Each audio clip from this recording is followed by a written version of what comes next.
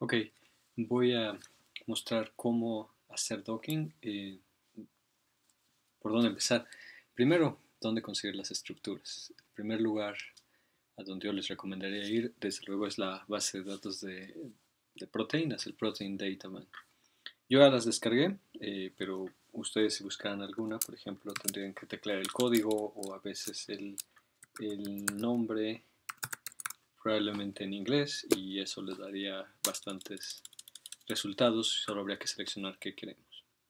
Los, los ligandos, en esta ocasión los voy a obtener de la base de datos del zinc, también ya han sido descargados y los tengo en un directorio específico. Voy a usar el programa UCSF Chimera para hacer el procesamiento de los ligandos para, perdón, los ligandos y los receptores para preparar el docking y el docking lo vamos a realizar con UCSF Dock. Allá he puesto un video previo donde indico cómo obtenerlo. En la página de UCSF Dock tienen que eh, solicitar la licencia y una vez solicitada esa licencia pueden descargar el programa. También ya he hecho un video donde muestro cómo compilarlo y los, las variables de mente que se requieren para que funcione.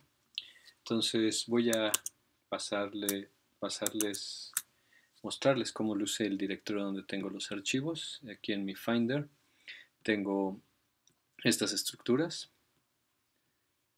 Alguna de estas va a ser monómero, me parece que entonces esta sería dímero, eh, puedo estar equivocado, y aquí están mis ligandos. Voy a abrir este primero, eh, como pueden ver el icono original eh, que identifica Mac sería el abogadro, es muy buen programa para visualizar moléculas orgánicas pequeñas. No es tan bueno. No, no he podido visualizar proteínas. Ah, por lo que veo, esta es la levodopa. Este no es un ligando que nos interese en esta ocasión, así que lo voy a borrar. En este otro archivo es... Ah, esta es la vitamina K, me parece. Tampoco nos interesa para este docking. Y esto sí, esto es un azúcar, es, ah, vamos a contar 1, 2, 3, 4 carbonos y una mina. 6. Mm, este es uno de los ligandos que nos interesa. Como pueden ver ya está protonado, aunque no estoy seguro que este fosfato esté correcto. Voy a eliminar los hidrógenos y los voy a volver a reasignar a, perdón, a un pH aproximado de 7. Ok, bueno, el programa está de acuerdo. Entonces simplemente lo voy a cerrar, no lo voy a salvar, no quiero sobreescribir esto, eh, voy a dejar el original y necesitamos preparar nuestros archivos. Esto como ya este archivo de UCSF Sync tiene la gran ventaja de que ya vienen preparados con eh, con los protones a un estado de protonación de referencia, entonces no deberíamos tener que preocuparnos mucho, pero eh, eso no va a ser el caso para las proteínas. Las proteínas en general, cuando se obtienen por difracción de rayos X, no van a tener ningún hidrógeno. Esta es nuestra ventana de UCSF Chimera y en la presentación por defecto que tiene se puede ver uno de los ligandos. Eh, esta es una glucosamina ciclizada que si no mal recuerdo está en el sitio alostérico. Es un dímero y si alcanzan a ver haciendo zoom en cualquiera de los ligandos, hay algunas moléculas de agua que parecerían estar involucradas en las interacciones. Entonces, para preparar nuestros archivos, eh, mi primer paso va a ser seleccionar una de las cadenas. Queremos, quiero un monómero y los voy a eliminar. Voy a también eliminar todos los heteroátomos, es decir, todas las moléculas que vienen en la estructura pero que no corresponden a aminoácidos en general. podrían haber sido ácidos nucleicos, pero aquí no hay ácidos nucleicos. Listo. Entonces, para preparar esta proteína y hacer docking, nos podemos valer de la herramienta eh, View eh, DocPrep, que está dentro de herramientas y Surface Binding Analysis. DocPrep va a hacer varias cosas. También quitaría el solvente, yo ya lo quité. Si hubiera aminoácidos, eh, perdón, si hubiera selenometeoninas, se mutarían a meteoninas. Y si hubiera alguna de estas bases modificadas, también se desmodificarían, por decirlo de alguna manera.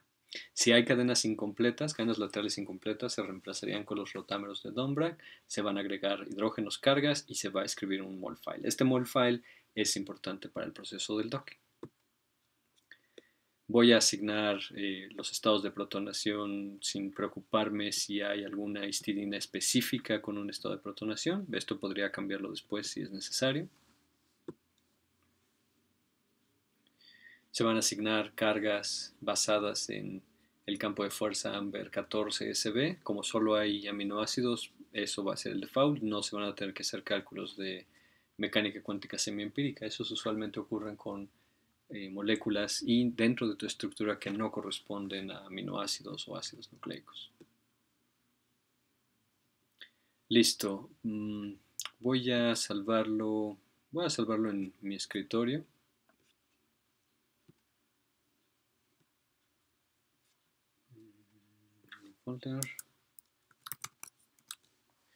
Y le voy a dejar el mismo nombre que el PDB original para no confundirme. Listo.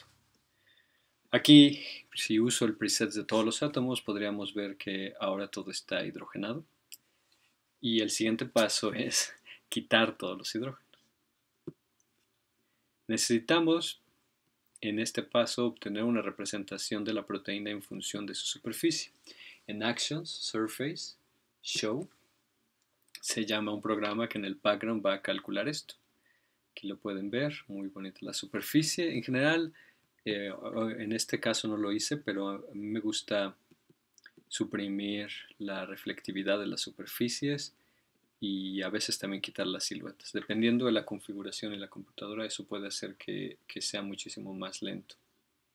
Bien, ahora en Structure Editing, Grade DMS, voy a salvar esta superficie que acabamos de calcular. También le voy a dar el nombre de nuestra proteína, FRZ, pero la extensión MS. voy a deshacerme de esta superficie y voy a salvar este PDB que ya fue corregido al que se asignaron las cargas, se agregaron los protones pero se le quitaron.